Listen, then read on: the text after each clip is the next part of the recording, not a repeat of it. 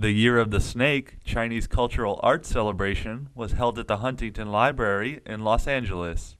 The event, held at the Library and Botanical Gardens by Jiangsu Cultural Association, the Ministry of Culture of the People's Republic of China, the Consulate General of the People's Republic of China in Los Angeles, Beauty Media Incorporated, and ICN TV Network, brought together several important members of the Chinese community, including Xuan Wei Da, the Deputy Consul General and cultural representative of the Consulate General's office, and Congresswoman Judy Chu.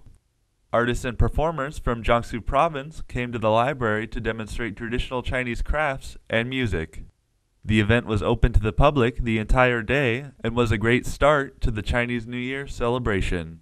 He, John Berge, ICN, San Francisco.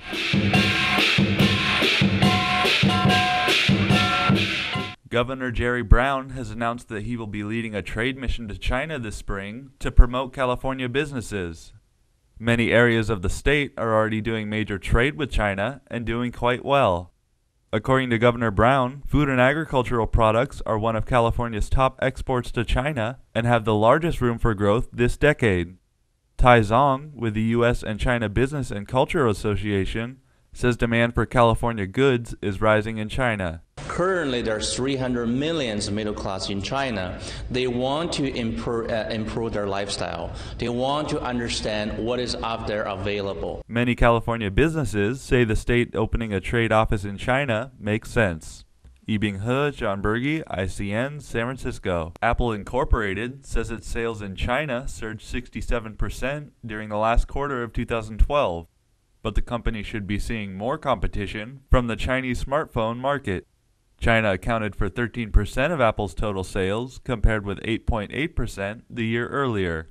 Apple has been expanding in China, with 11 retail stores and more than 400 premium resellers. China surpassed the United States as the world's largest smartphone market last year. Mobile phone manufacturers Lenovo and Huawei should be tough competition for Apple this year. With China Mobile, the world's biggest telecom operator, not carrying the iPhone, Apple may still have some catching up to do. Yibing He, John Berge, ICN, San Francisco. The ICN 2013 North American TV Spring Festival Gala took place on January 26th at the Pasadena Municipal Theater in Pasadena, Los Angeles. ICN brought together outstanding performance artists from around the world to put on a show to celebrate the Year of the Snake and the Spring Festival. The Spring Festival Gala attracted a full theater crowd and many important members of the community, including Mr. Chu Xiaofeng, Consulate General of the People's Republic of China in Los Angeles. The show opened with Brazilian samba dancers and a live snake. Shaolin Kung Fu group showed off their fighting skills and focused strength. A traditional Chinese music group brought out 8,000 year old Chinese bells to play. Nanjing Little Flower Art Troupe sang and danced to the sound of music and traditional Chinese sounds. From Israel came a dance group that combined traditional Israeli dance with modern dance style. Internationally renowned piano master Chen Rubin played for the crowd. Many other dance styles were shown off, including the waltz. ICN will continue to bring quality events such as this in the future. Yibing He, John Berge, ICN, San Francisco. Super Bowl 47 in New Orleans will host the San Francisco 49ers and the Baltimore Ravens, and Bay Area fans are feeling the excitement. This will mark the first time in football history that the opposing coaches are brothers, with Baltimore's John Harbaugh and San Francisco's Jim Harbaugh having a little sibling rivalry. Colin Kaepernick, the Niners quarterback, is a rising star, and many fans think he is the main reason the team made it this far this year. Super Bowl Sunday is this weekend, and the city of San Francisco should be full of fans getting together to watch the game and hopefully celebrating a big win. Yibing He, John Berge, ICN, San Francisco. Changxing Island in Dalian now holds the record for the largest shipyard in the world after it began operation earlier this month. STX Shipbuilding Company uses the shipyard for the final assembly of big ships. The yard is 460 meters long with a width of 135 meters and can accommodate two ships to be built simultaneously. Ships being built in the yard can be up to 320,000 tons each. The Dalian boat yard is 1 meter longer and 1 meter wider than the previous record holder for size, operating out of the Philippines. STX is the fourth largest shipbuilding company in the world in terms of orders received. Yibing He, John Berge, ICN, San Francisco. The Bay to Breakers is a long running San Francisco tradition and is seeing its 102nd race this year. The lighthearted competition sees many Bay Area residents dress up in fun costumes and have a good time with friends for a casual 12K race. The main sponsor, Zazzle, a website for custom designed products, has pulled out this year, leaving the bay to breakers looking for a new group to cover the million dollar price tag that the race needs to put on the event. The race is on May 19th this year, so that leaves about four months for the organizers to sort out the problem. Yibing He, John Berge, ICN, San Francisco. President Obama has backed a bill proposal by a bipartisan group of senators to reform the nation's immigration policy, which is good news for many Chinese in the U.S. The framework seeks to make it easier to give a green card to PhD and master students in some science majors who have found jobs in the country. Under the proposals, illegal aliens would have to pay a fine but could still hold out hopes of getting a green card if they had no serious criminal record. President Obama's reform proposals are not yet law, but if they were to be passed, it would benefit Chinese workers trying to get jobs in the U.S. greatly. Yibing He, John Berge, ICN, San Francisco. The U.S. Navy angered environmental groups earlier this month when the USS Guardian ran aground in a protected marine area near the Philippines. The ship still has not been removed due to the delicate reef area it is trapped in and bad weather covering the region. A salvage team has removed 15,000 gallons of fuel from the vessel to prevent spillage and more damage being caused to the reef. The reef, known as Tubataha, is a UNESCO World Heritage Site treasured for its rich biodiversity. The U.S. could be held liable for the equivalent of nearly $1 million in damage to the reef. An investigation is being made into why the ship ran aground in the first place. Yibing He, John Berge, ICN, San Francisco. Oil company Chevron has paid about $10 million and has begun corrective action to make up for the fire at its Richmond refinery last summer. The California based corporation has paid the money in connection to nearly 24,000 claims from residents in compensation to area hospitals and local government agencies in Richmond and Contra Costa County, according to a report filed by the Contra Costa County Health Services Department on Monday.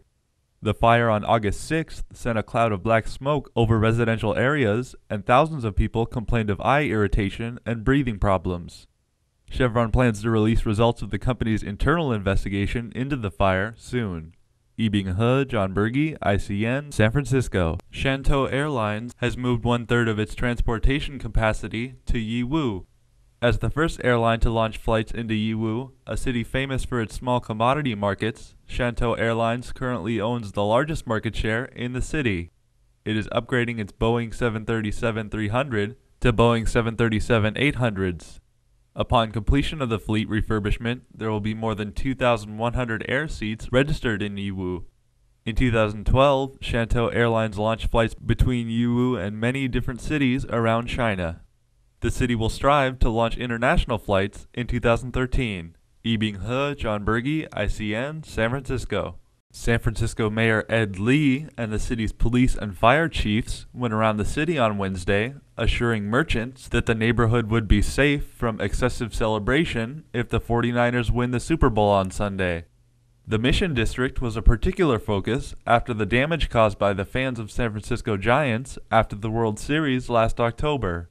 Yes. Well, you provide such a wonderful service here, and everybody uh, just wants to make sure that when we do celebrate the win uh, for the yes. Super Bowl, that we do it respectfully. And I, I, really want to thank you for working with us. We asked some people in the Bay Area about their plans for Super Bowl weekend.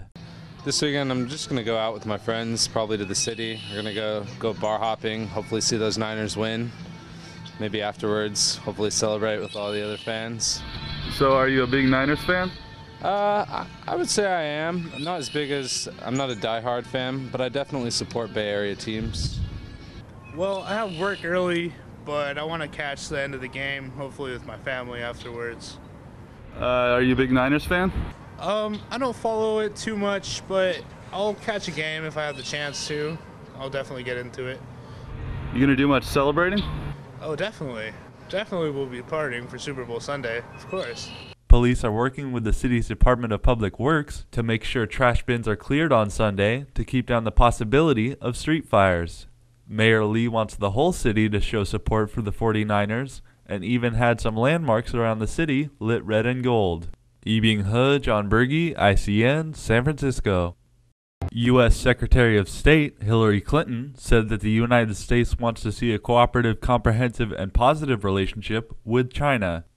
Clinton told a global town hall forum in Washington on Tuesday that the U.S. wants to deepen and broaden its engagement with China. I uh, helped to put together the strategic and economic dialogues, which we then use to discuss everything um, from border security to food uh, safety to uh, cyber uh, matters. And we want to continue that because we believe strongly that there's, the world is big enough for a lot of uh, nations to be important players, and that is certainly true of uh, China. Researchers of U.S. studies at the Chinese Academy of Social Sciences said it can be expected that Obama will not significantly change the general framework of its China policy, but aggressive contradictions in his previous term will be reduced. Yibing He, John Berge, ICN, San Francisco. Architects, engineers, and historians have come together to show how the giant landmarks of San Francisco stay standing tall in an earthquake. Using a combination of real video and computer generated effects, the outer layers of the structures are peeled away to show the inner workings and underground features that keep everything up. Because of San Francisco's delicate location near a major California fault line, architects had to put a lot of very specific technology into the buildings and bridges to make sure they would stay structurally sound. The technology used to show off these inner workings has also been used to understand many other landmarks from all around the world. Yibing He, John Berge, ICN, San Francisco. Consumer confidence in China rebounded in the fourth quarter as economic growth picked up amid low inflation, according to a Nielsen survey released on Wednesday. The quarterly consumer confidence index rose by 2 percentage points to 108 in the last quarter, which the survey showed was 17 points ahead of the global average. According to Nielsen, urbanization will be the driving force behind economic growth. It will increase domestic consumption, new investments, and GDP, which will account for 37.5% of GDP growth by 2020. Looking forward, analysts at Nielsen believe consumer confidence may increase in 2013 due to the economy and robust consumption. Yibing He, John Berge, ICN, San Francisco. Hundreds of California school districts have been turning to a controversial form of financing called capital appreciation bonds to pay for new projects. The bonds don't require payments for many years, but could cause districts to pay up to 23 times the amount they borrowed. Alvord sold about $57 million worth of cabs. And over a 40 year period, that 57 million is going to cost the people of Alvord a total of about $375 million. Typical school bonds require borrowers to begin making payments within six months and cost two to three times the principal amount to repay. Voters usually support capital appreciation bonds because they don't realize the interest rates, which has led to some states banning their use.